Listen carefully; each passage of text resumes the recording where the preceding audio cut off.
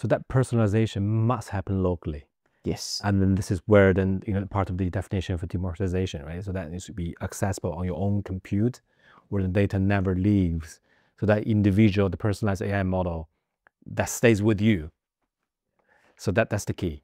And it's just coming back to your point of of this, uh, you know, uh, bring individuals out of AI models and how human can leverage AI to become better human, our better selves.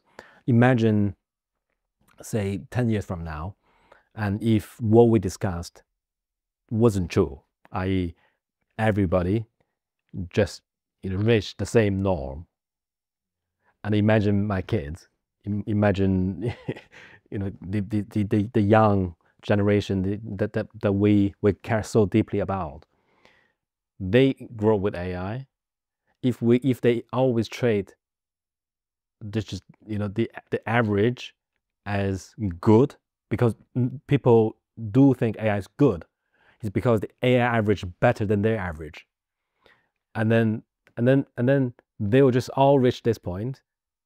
and imagine when end of university they take the final exam, and everybody write write the same answer to the uh, to the questions, wouldn't that be a catastrophic, uh, scary, you know, reality to face in 10 years? And then to me, it would. Uh, but then what if then we really make people aware that, you know, people should change their, you know, mindset about how they should engage with AI and then to really think, yes, AI is raised the bar, but I need to question it. I need to think about, you know, you know, what's what's what's what's right, what's wrong, what's me, where is me, you know, where are the data that that's not in the cloud, that's not in the models, you know, that, you know, where is that?